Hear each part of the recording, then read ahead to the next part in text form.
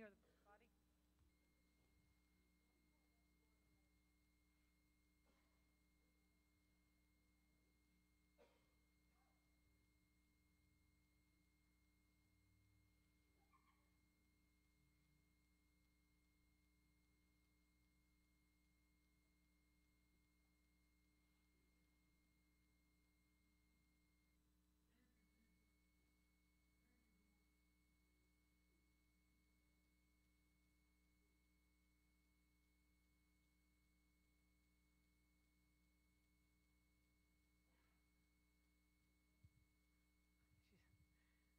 I love drunk people. Drunk people rock. At least she's not on the floor this time, right? I love that. There's nothing like being drunk on the Holy Ghost. The best thing ever. Me and Fish were talking about that today. Like, ain't nothing, no high like a Holy Ghost high. Okay, either y'all have never been high before and cannot correlate the two, or a bunch of Jesus' second cousins in here, or you don't know what it's like to be filled with the Holy Ghost. We're going to change that. Amen. okay, I, I feel like I need to do this. And um, uh, it's 826 the Lord will anoint, because I'm going to wrap up this, this series I'm doing tonight. But I feel like I need to re- release this word. I feel like it's, there's, I have been fighting this particular part of the word, so we're going to release it. Amen. And we're going to receive it. Thank you, Monica. Monica's the only one who's going to receive the word. I bless you with that. May you receive a double portion of the victory that comes from it. Amen. And the rest of these losers can just have none of it. Amen. Okay. just kidding. Little not totally. Okay. I know some of y'all don't know how to take me, but it's okay. You'll be all right, I promise. Amen. Hallelujah. I love you too. I'm so excited. I'm so excited. Seriously. Do you understand that chains, major chains, have been broken tonight? That there have literally been people set free tonight? There are people that were in darkness that came into a new light. Oh, praise the Lord. Hallelujah. No! Hello? Come on. I praise Jesus. I don't know, but when I got saved, I was loud obnoxious about it. I'm still kind of loud and obnoxious about it, ain't I? When I get that, whoa, that hollering thing, I don't know what that is. I have no idea what the Holy Ghost. I don't know if Jesus is a yeller. I don't know, but I yell, and he must be a yeller because all of a sudden it comes down from way down here. I, I sound like an idiot, but who cares? But when that happens, I know freedom's in the house. And then to look up and see people set free like that, amen. You're like, well, I didn't see anybody do anything different. I saw it in the spirit. Hallelujah. Amen. God is so good. Ah, stay focused, Annette. Stay focused. Stay focused. I can't help but praise him, though. I can't help it. Can't help it. Ah, okay, Mark chapter 11.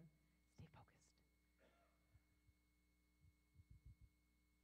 Okay, we talked, we've been doing this series on fanning the flame, and I, I, we talked last week about what are, what are some of the life application things that we can do to make sure that we keep our flame burning, okay?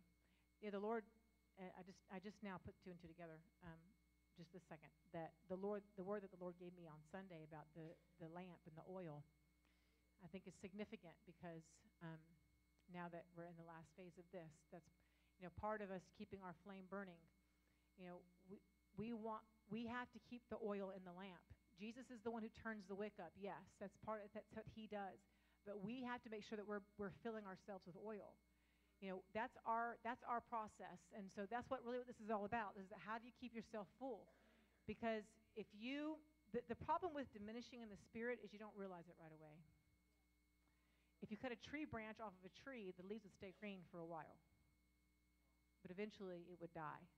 And that's kind of what happens with us in the spirit. We forget. We our devotional time goes away. All those kind of things start to happen, and and some of these things. And we we talked last week about first of all, seeing Jesus and Jesus only. That keeping our eyes fixed on Him. That when they saw Jesus on the Mount Transfiguration, they saw Jesus and Jesus only. The second thing we talked about was remaining teachable. The third thing we talked about last week was being a servant, and the fourth thing was being childlike.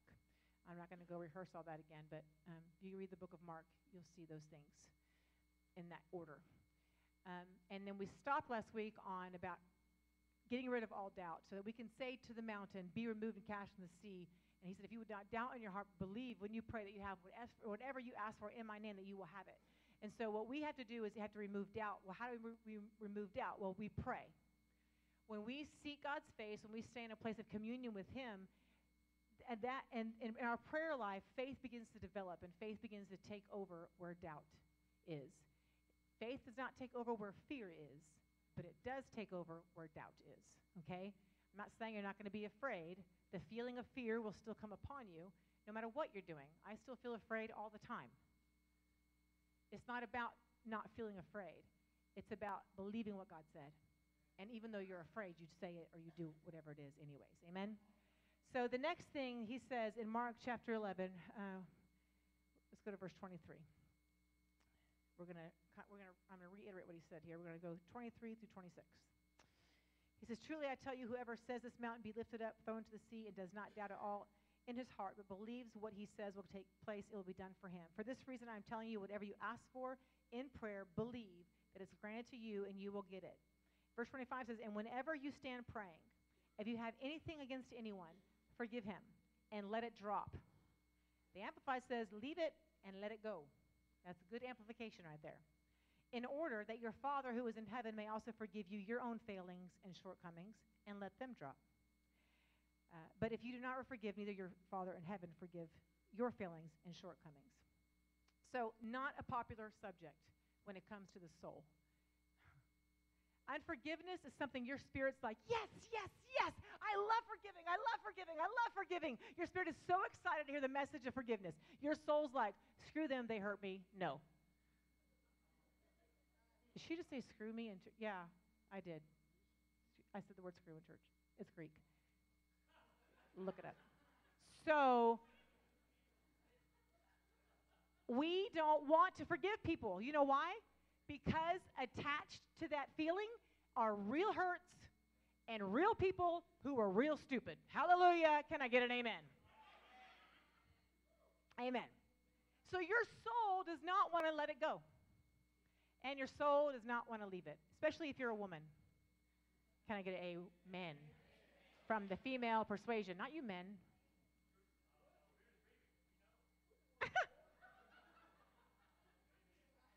we we like to rehearse those things. And forgiveness, because it's attached to pain and it's attached to anger, it's attached to a circumstance and it's attached to a someone. But can I tell you, beloved, forgiveness is a very serious subject. It's serious. And we have to forgive.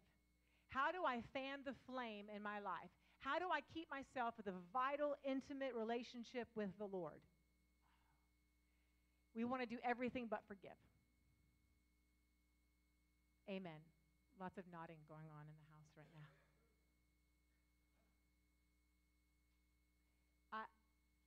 The struggles that I've had in my personal life with forgiveness, because I know how to hold a grudge. Oh, I'm German. I'm really good at that. Just saying. I come by it with my DNA. It's genetic. And I am one stubborn woman. Amen. Shut your face. You're my twin, so hush your face. So I, I, I struggle with it. I, and I will be honest with you. I'm just going to tell you because I have the only note I have on here is get real and get honest. Get real, get honest. When my dad, if, if you've taken Becoming Who You Are, you've heard the story, but I'm not going to give the whole thing. But I will tell you this. When my dad called me up the day before, he had to go have his radiation. He called me on a Thursday night at 10:30 in the evening to let me know that he had cancer. I had talked to the man two years. He tells me that, and then I hear the Lord say, I have to go to his radiation treatment with him. To stab him, right? is what I'm, I'm thinking. no, um, not to hurt him, but to release forgiveness. Well, I didn't want to do that, so I told God no. Um, and I sat back in Ricky's recliner and said, nope, not doing it. And so I had a nice wrestling match with the Lord. and he did win. I will say that. But I will tell you what, I, I told God, I don't want to forgive him. He doesn't deserve my forgiveness.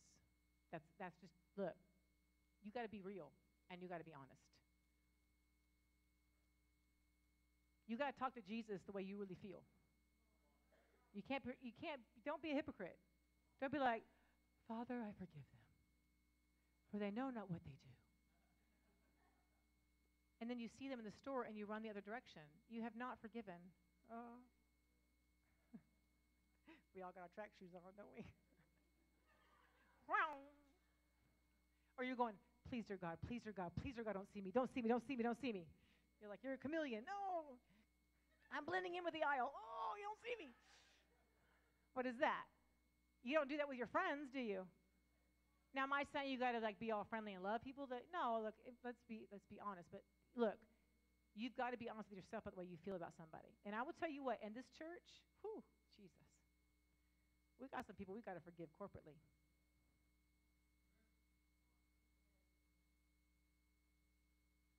What if the flame that we've been asking God to release for us corporately is not happening because we're holding on to people who left, people who stabbed us in the back, people who talked about us. Amen. We got to deal with those things. I, look, y'all, this is not comfortable at all in here right now. You should see your faces. You're all just like, don't think so.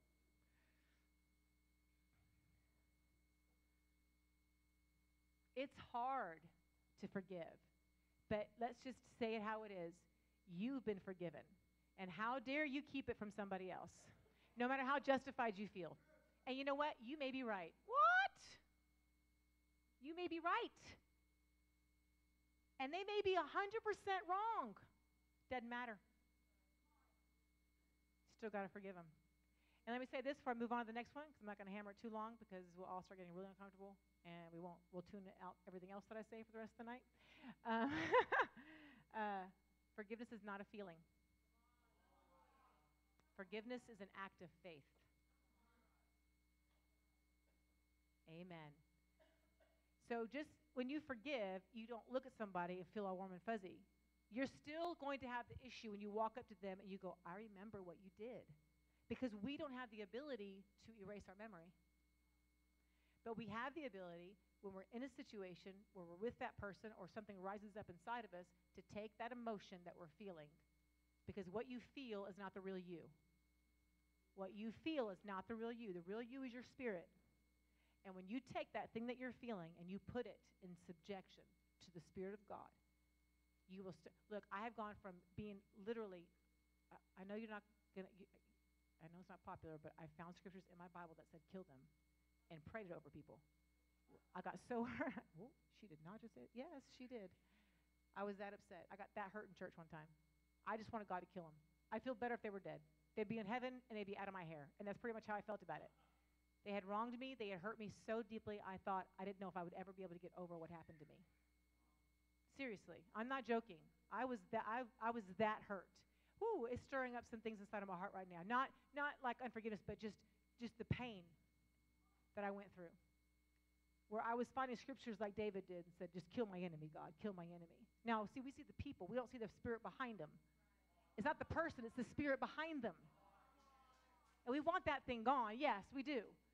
So I was just at a line. I, God straightened me out. I finally figured it all out, got it together. But look, it's hard to forgive. And then, you know, but and I but I know what it's like to forgive by faith. And every time I see them and be uncomfortable, and still say, Jesus, I'm, gonna, I'm going to do this because this is obedient to you. Sitting with my dad during chemo and radiation was the hardest thing, and with his mistress was the hardest thing I ever did. Standing at that intersection with my dead daughter on the side of the road and forgiving the woman that hit me was one of the hardest things I've ever done. Forgiving myself for making a left hand turn that morning was the hardest thing I've ever done. But I cannot minister. I cannot have effective prayer. I can't be what you need me to be, and I can't be what Jesus needs me to be if I hold on to the feelings of unforgiveness. We are stopping the flow of God in this building because we refuse to let people off the hook for their shortcomings. And they are no more nor less a sinner than you are. Amen. And God's not going to erase your memory because if He did that, it wouldn't take no faith for you to forgive. But faith pleases God. Hallelujah. So get real, get honest, deal with it fervently, be humble, and start acknowledging it. Just acknowledge it. Just start being honest with yourself, like, I hate them. Jesus, this is how I feel. I hate them. I'll be honest. If the man who hit Kimmy was alive today, it'd be hard for me to look at him in the face. And even though he's gone to be with Jesus, I want you to know, brothers and sisters, I've had to forgive him. Come on, it's uncomfortable. I'm not trying to make you uncomfortable. I'm sorry, I didn't mean to do that like that, but I didn't ask permission. I apologize. I love you. And their process will take as long as their process needs. Amen. But as a church, we're all we were all affected by that. We've had people that loved, we thought loved us and walked out the door. Guess what? We've all been affected by it. And we got to be honest about it and quit putting on a little pretty happy faces and like everything's just fine. And then we're all Facebooking each other trying to figure out what happened, what's going on. We need to be honest about the way that we feel and we need to forgive. Amen. I love you. I love you in the love of the Lord. Number seven, the next one. Mark chapter 12. I will say this one I kind of went off just a little bit because I told you I was telling you everything that he was talking to the disciples about, but this he kind of said to the Pharisees, but he said it with the disciples there, so we're adding it. So, Mark chapter 12, verse 30. Y'all okay? Y'all love me? Don't get mad at me. I, I love you. I'm sorry. I hate to bring forth stuff that's going to make you uncomfortable, but that's just the way that it is. Okay. So, he says, Jesus answered in verse 29, the first and principal one of all the commandments is, Hear, O Israel, the Lord our God is one Lord, and you shall love the Lord your God out, of and with your whole heart and out of and with your whole soul, your life and out of and with all of your mind, the faculty of thought and your moral understanding and out of your out of and with all of your strength.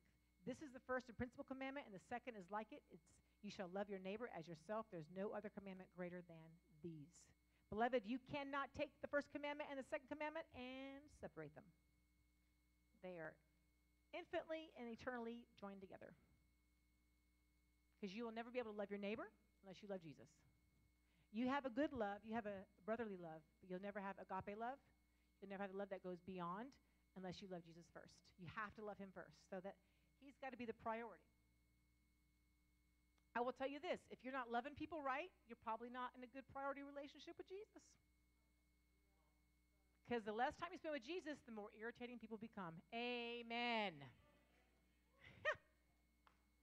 Hallelujah. So he's got to be first. He's got to have our all. You can't give him some and pretend that it's all. Cannot give him what did Ananias and Sapphira do? They came with an offering that made everyone think it was the whole thing, but it was only a part of it. Okay? So we've got to give them all. And quit acting like you're giving them all and you're only giving them some. We know the difference. So, all means all, first means first, period.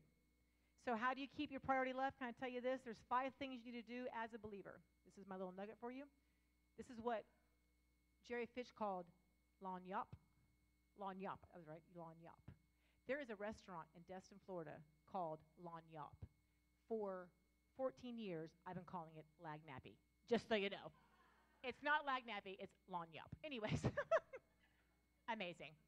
How stupid am I? Okay, so, but if you if you want to keep, because people have come to the altar, they've cried their eyes out, oh, I love Jesus, I want to be saved, and they're good for about a month, and then they're gone.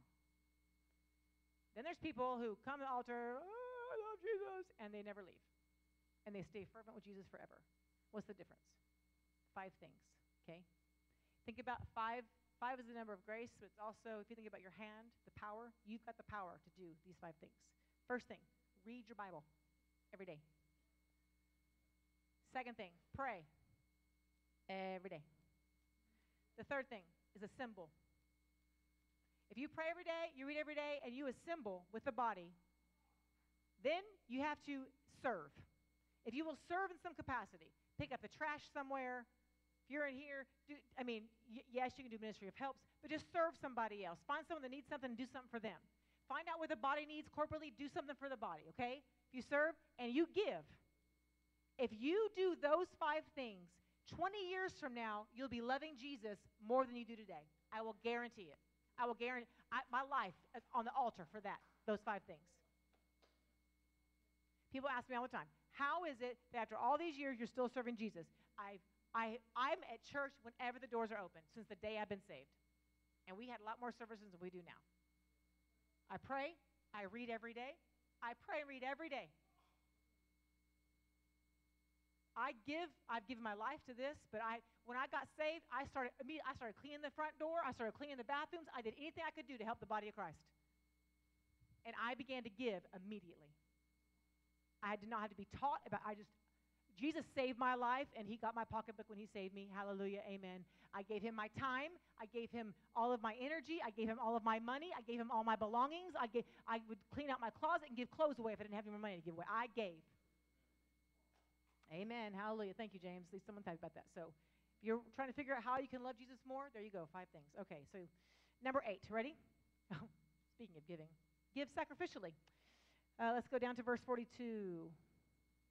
No, let's go down to verse 41. Yeah. How uncomfortable would this make you today? If Jesus decided, before pastor's up here and praying, get your tithes and offerings ready, and Jesus just came down and sat right here and he watched as everybody came and dropped their money in and they left. They came and they brought their check. Because in verse 41, that's what Jesus is doing. He is sitting at the place where they bring the treasury. He is watching people come into the storehouse and drop their offering off. He's watching them come and them go. Could you imagine how comfortable or uncomfortable would you be if Jesus was standing at the offering plate when you gave your offering every Sunday and every Wednesday? Would you be like, oh, I can't go up there? He may see it. Would you be like, I hate giving you this money. I need to pay a bill. Oh, I got, I'm sorry. I love you. or be like, yeah, I get to give. I get to give. I get to write a check for whatever amount of money it is. Because he loves a cheerful giver. Hello cheerful giver. Cheer- the church should have a whole message on cheerfully giving to the Lord. Seriously. Y'all are like, your looks on your faces tonight at me, some of y'all like, I love you. You just always say what you, what you really want to say. And then some of you are like, I just really don't even like anything you're saying. I lost you at, I screwed up. I mean, whenever I said the word screwed, I lost you. Come back. Come back. It's okay that Billy did not fall down. I did not get raptured out of here or, you know, killed. So it's okay. Jesus was all right with it. Okay, so verse 41 And he sat down opposite the treasury and saw how the crowd was casting money into the treasury. Many rich people were throwing in large sums. And a widow who was poverty stricken came and put in two copper mites, the smallest of coins, which together make a half of a cent. And she called his disciples to him and said to them, Truly and surely, I tell you, this widow, she who is poverty stricken, has put in more than all of the, those contributing to the, to the treasury. For they all threw in out of their abundance, but she, out of her deep poverty, has put in everything that she had, even all that she had on which to live. Whoo, come on. See, this looks different for every single one of us. That is why it's not about the amount that you give, it's not about the amount, it's about what it is that's vitally important to you. Because until it is a sacrifice, it's not a gift. It's a tip.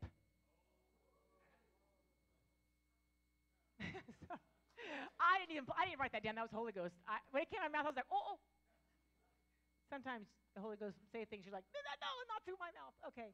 Uh, you have no idea how many times that's happened, actually. But he uses my personality. He loves it, even though you don't. Um, but we, if we're, if what we're giving is in, is enough, it's not. It's not a sacrifice.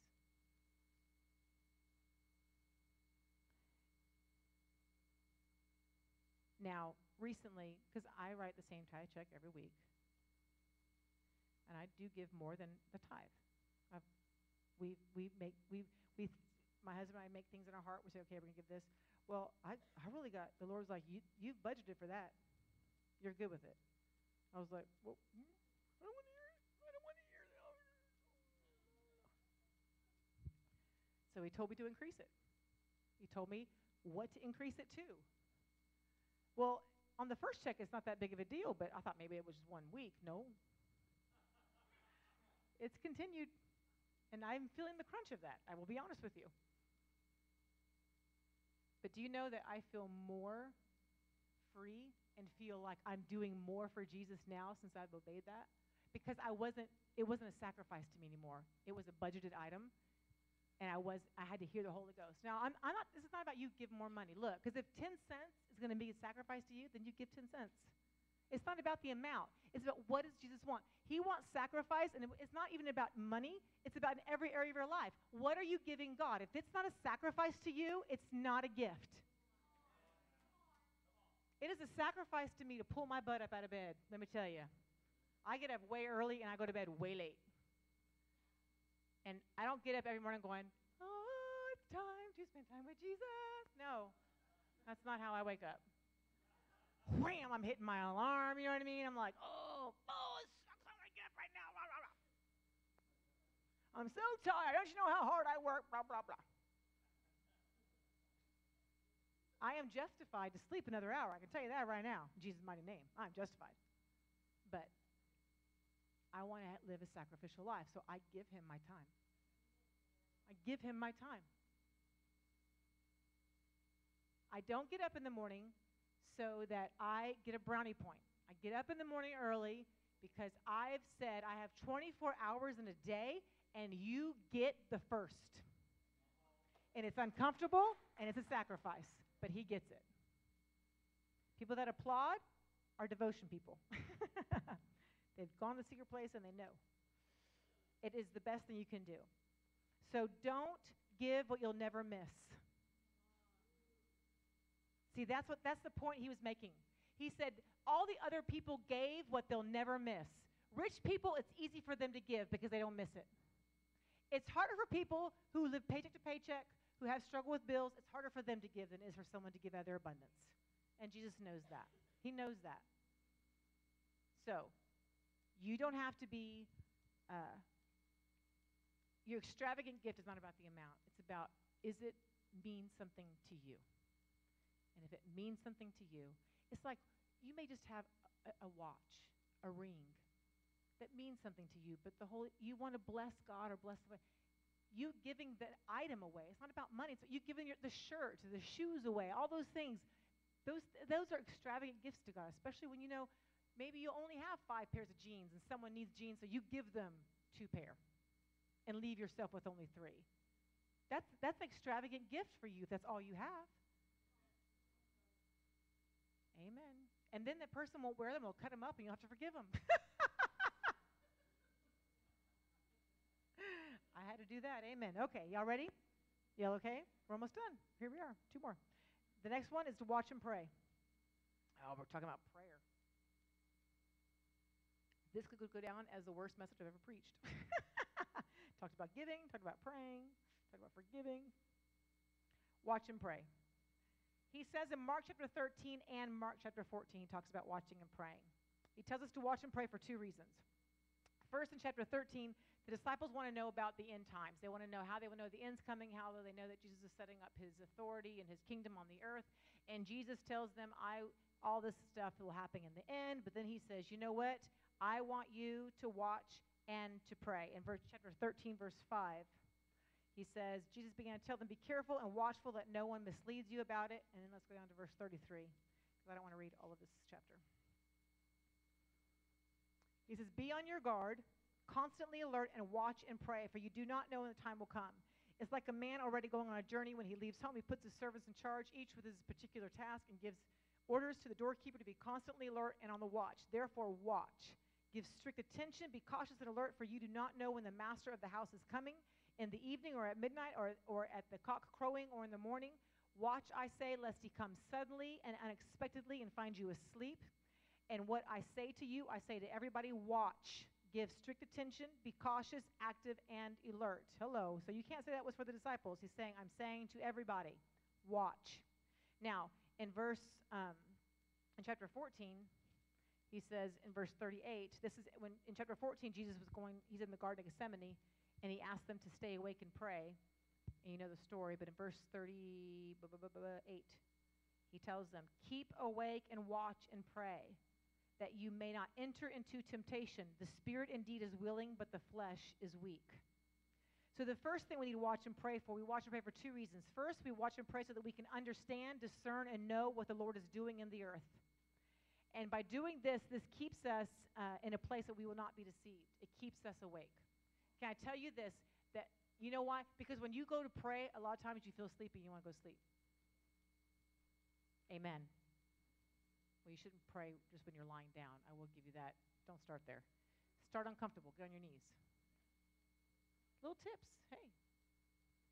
If you get on your knees, you will not fall asleep unless you are really tired. But if you're on your knees, your legs will go numb and you will you will have little sharp things going through your legs and you won't fall asleep. You'll be wide awake. Hallelujah. Amen. Don't go read your Bible in bed. Okay. So well, you can read your Bible in bed, but don't do your devotion in bed. I mean, you're preparing to sleep, not to read. So we watch and we pray.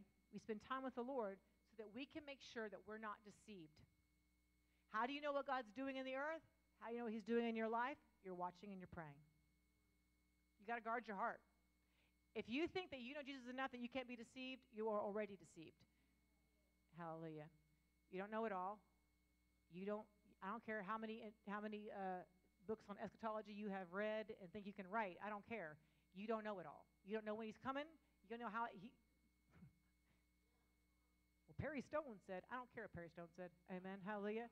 We need to know what Jesus is saying. Okay, I'm not. I'm not knocking all the teaching. Look, I got them too. I read the books. I I listen to all the tapes, all that kind of stuff too. My point is, we got to be on guard and we got to watch. We can be deceived, and we also want to know what is God doing. What is He doing? So we stay awake and we watch and pray for that. And the second reason that we watch and pray is because, hello, you're weak. And your spirit is vital. And they got comfortable. They were not like standing up in the garden going, oh, we got to pray for Jesus. Jesus, you know. They weren't pacing back and forth. They were by a fire. We're praying, Jesus. Uh, they were by a fire, warm and cozy, and they nodded off.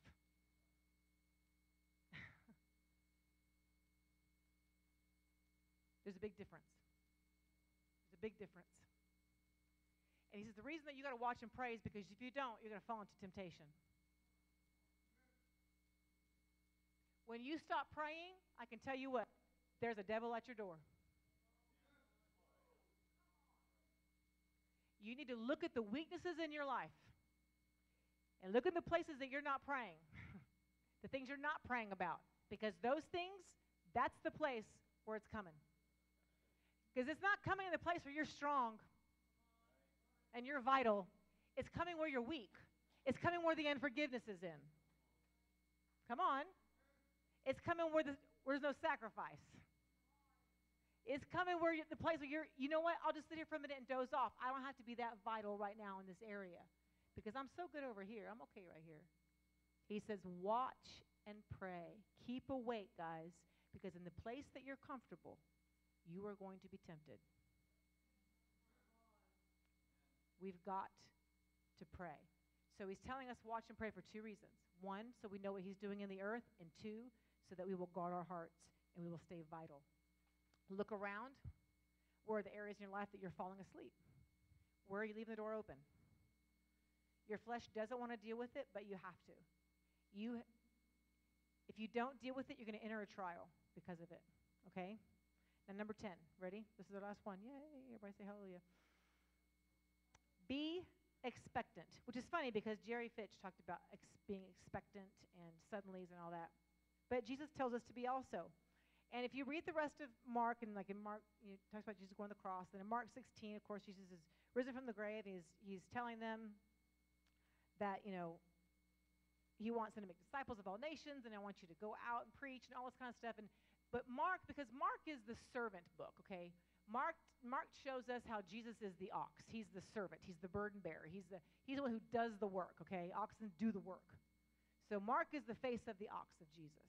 And so Mark is so Mark doesn't get into the emotional part. That's why he's like, and suddenly and immediately and right after that. I mean, he's like boom, boom, boom. Mark, the book of Mark is like so fast and it's always immediately right away and you know you're like okay mark it's not happening that fast give me some give me some emotion give me some feeling and mark doesn't care about that he's like this is what we did this is what we did. This is what we did. This is what we did. So mark doesn't give us all the part that i really want us to see. So if you look at uh, luke chapter 24 verses 50 through 53 and then we're going to end right there. I might give you a couple other scriptures.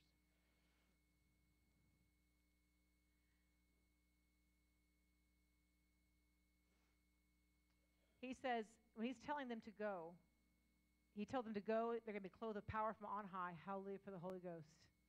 Uh, he says, let's go actually go down to verse 51. It says, And it occurred that while he was blessing them, he parted from them and was taken up into heaven. And they, worshiping him, went back to Jerusalem with great joy. Great joy is the, the point here. And they were continually in the temple, celebrating with praises and blessing and extolling God. See, they didn't go away sad and depressed. They went with great joy, continually blessing and praising God. Even though they did not know what to expect, they didn't know what being clothed from on, pow- uh, on high from the power was going to look like. It didn't matter. They left that place praising Jesus. They had great joy. They were they, they were happy.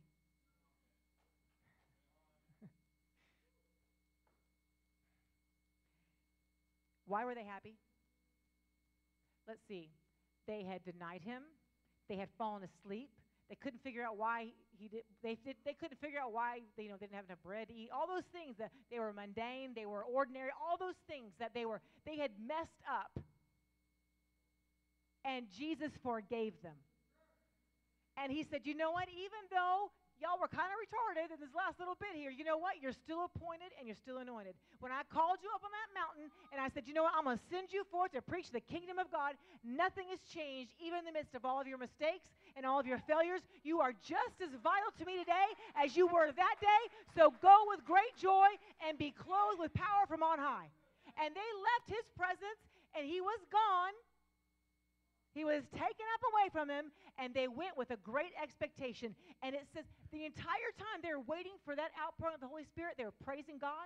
They were full of joy. They were happy people. They were happy people. They weren't sad and depressed. They had been forgiven, and they had seen the man that they loved with all their heart raised from the dead. And they went with great joy. You've got to remain expectant to keep your flame alive. You've got to continue to be expectant that God is going to do. That He's not erasing your call, He's not erasing your appointment, that He's not mad at you even though you fell down. These men screwed up royally, and still Jesus got to them face to face and said, I love you, go wait for me. I love you, go wait for me. And that's how we live. We live expecting God to do what He said He was going to do. And when they got clothed, whoo, they changed the world. They changed the world. Can you put up as my last verse, Acts chapter 2, verses 1 through 4, and then we're going to go Acts 13, 52. So those, those of you taking notes, Ephesians chapter 5, 18, Ephesians 3, 19, Romans 15, 13. You can listen to the audio. 2 Timothy 1, and 1 chapter, uh, chapter 1, verse 6. There's some more scriptures on the infilling. Romans 15, 13. So he says, can you do this in the New King James, this particular verse? Then we're all finished. It says, And when the day of Pentecost had fully come, they were all with one accord in one place. And suddenly there came a sound from heaven as a rushing mighty wind. It filled the house where they were sitting. And there, oh, and I don't. And there appeared unto them cloven tongues as of fire and sat upon each of them. And they were filled, they were all filled with the Holy Ghost and began to speak with other tongues as the Spirit gave them utterance. What's the next one? Well, actually, right after that, he says, they call them drunk. They said, they, You're like a bunch of drunk men because they're all out there speaking in tongues. Because the infilling of the Holy Spirit will make you act different. It will make you, it will completely change your countenance. It will make you act different. It will, it will make you uninhibited. All the things that you need to be when you're following Jesus, the Holy Spirit gives you that. You just got to get drunk with the Holy Ghost. He's so good. He's the best high ever. He is. He's the best high ever. And then Acts 13, the last one, verse 52. And you can do that in the amplified. The disciples were continually filled throughout their souls with joy and the Holy Spirit. Okay. With joy and the Holy Spirit. Okay. Amen. They were continually filled with joy and the Holy Spirit. They were expecting God to do what He said. And expectancy breeds joy. And the Holy Spirit adds that to that joy because the Holy Spirit is righteousness, peace, and joy. That's part. That's the kingdom of God. He's the carrier of, of joy. But there's a joy in our spirit that we're expecting God to do what He said He was going to do. So how do you keep the flame alive? Those are ten things I gave you to do. I told you five things on how you can keep yourself in a place where you're not going to fall away from the Lord. Will you trip, fall, fall down? Yes, you will. Doing those five things, you probably will. Doesn't matter. Mistakes are the teaching tools that we use to find the right way, unfortunately. But I gave you 10 things on how to keep oil in your lamp. Because, beloved, we know the story when Jesus said there were 10 virgins. Five of them had enough oil, and five of them did not. All 10 fell asleep. All 10 heard the bridegroom come. But only five of them were prepared with enough oil. It's hard to face. But there, were, there was a group of people that said, We knew we had a lamp that needed oil. We even had oil in it. And we knew there was a bridegroom coming. But they did not do what it took to make sure that they had enough. And they missed the opportunity to go through the open door when the bridegroom came. Hallelujah. So when we talk about Jesus only and forgiving, removing doubt, watching and praying, these are not these are not things that should be taken lightly. They are things that keep our oil full. And they keep us in a place where we will hear the bridegroom when he arrives again on this earth. And we will not have regret because we know we've been prepared. Amen. I love you with all of my heart. I'm so thankful for every single one of you. Thank you for enduring. I love you, Biddy. You want to say something? That what you said? What?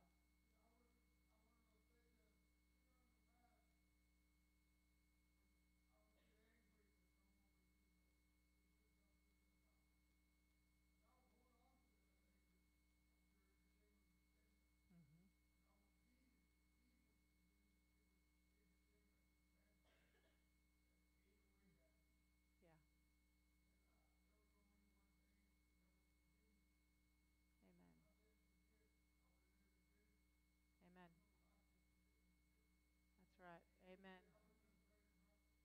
Amen.